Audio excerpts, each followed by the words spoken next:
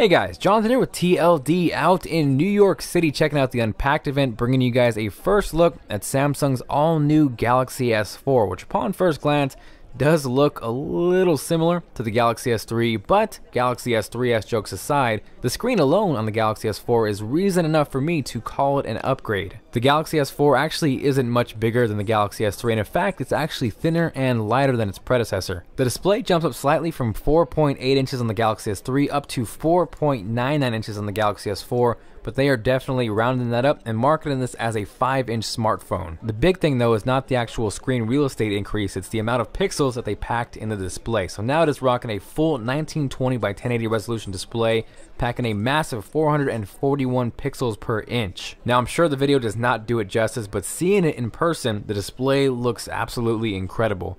Now I have briefly messed with the Xperia Z from Sony and while that is 1080p as well, it's a little washed out, leaves a little bit to desired, and from first impressions this display definitely outperforms that one.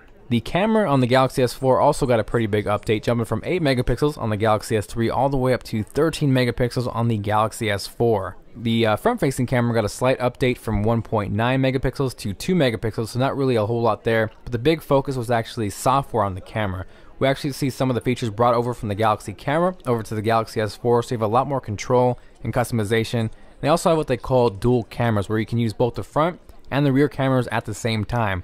I'm not exactly sure how useful that is or if I found myself needing to use both the front and the back camera at the same time, but you guys can let me know what you think with a comment down below. Now as far as other specs go, they didn't officially announce or highlight the CPU. From what I gather, the US version is indeed going to be quad-core while the international version is going to have the 8-core Exynos processor. Now specs and upgrades and all that good stuff aside, they spent a lot of time on the actual software. S-Translate is pretty much your personal translator where you can take actual spoken words or something like an email and translate it to a different language. And from what I can see from the demos, it did work extremely well. Now we also see AirView brought to the Galaxy S4. So we saw that on the Galaxy Note 2 where you take the S Pen, hover over a picture, get a preview.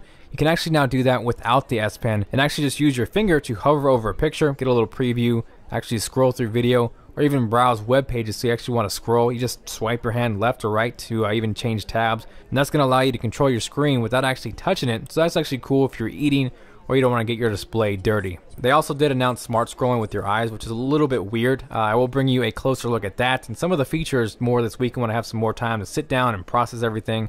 I'm on about two hours of sleep right now, but I want to bring you guys a quick first look at the Galaxy S4. Let me know what you think of it down below with a comment. What is your favorite features? What do you like? What do you dislike? And what do you guys want to see more coverage on? So thank you guys for watching. This is Jonathan with TLD. If you guys did enjoy the video, make sure to hit that like button as it does help the channel out and I will see you guys later.